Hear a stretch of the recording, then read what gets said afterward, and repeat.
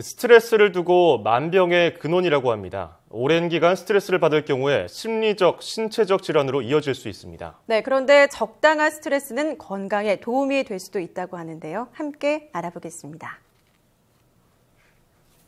네, 스트레스를 받게 되면 몸의 활성산소가 증가합니다. 이 활성산소는 몸 안의 세포를 공격해서 방어 능력을 떨어뜨리는데요.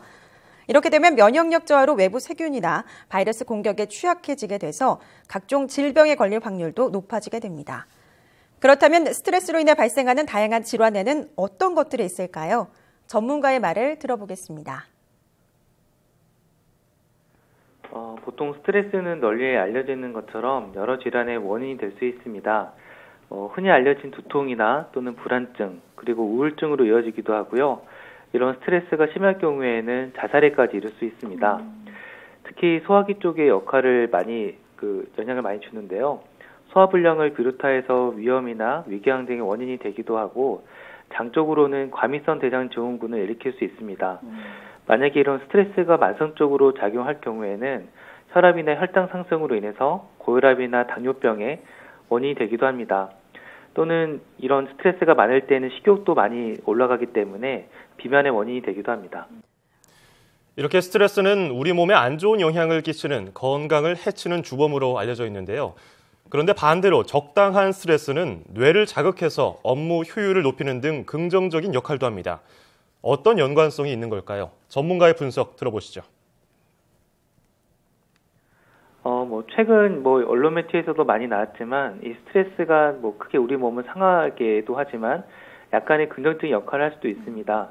그, 흔히 알려진 것처럼 우리가 이제 좋은 일이라고 생각하는 거에도 약간의 스트레스, 부담이 될 수도 있는데요. 음. 이런 그 스트레스는 전체적으로 교감신경을 항진시키면서 또 몸 안에 있는 부신에 작용을 하여서 코티졸이라는 호르몬을 분비를 하게 됩니다. 이 코티졸이라는 호르몬은 이런 염증을 막아주는 역할도 하고요. 또 상처 치유에도 도움이 되기 때문에 이런 염증이나 상처 치유에 그 긍정적 효과를 줄 수도 있고요. 또 우리가 이제 어떤 삶의 변화라든지 이런 것에 대한 적응력을 키워주는 데 도움이 음. 되기도 합니다. 네. 다만 이제 이런 종류 스트레스가 반복이나 또는 지속됐을 때에는 건강에 무리가 될 수 있습니다. 음. 네, 미국의 한 건강 전문 사이트는 이 밖에도 적당한 스트레스는 위기 상황을 극복하기 위해 신체 능력을 극대화하는 기능도 한다고 소개했습니다. 수술 뒤 회복을 돕고 면역 기능을 강화해서 감기 같은 질병에 덜 걸리게 한다는 것입니다. 하지만 중요한 건 단기적이고 적당한 스트레스여야 한다는 점입니다. 스트레스에 만성적으로 노출되거나 지속할 경우에는 부정적인 효과가 더 커지기 때문입니다. 스트레스는 그때그때 푸는 것이 좋겠죠. 심호흡을 하거나 물을 마시는 것도 도움이 되고요. 신체 활동을 늘리거나 취미 활동을 하는 것도 좋다고 하니까 참고하시기 바랍니다.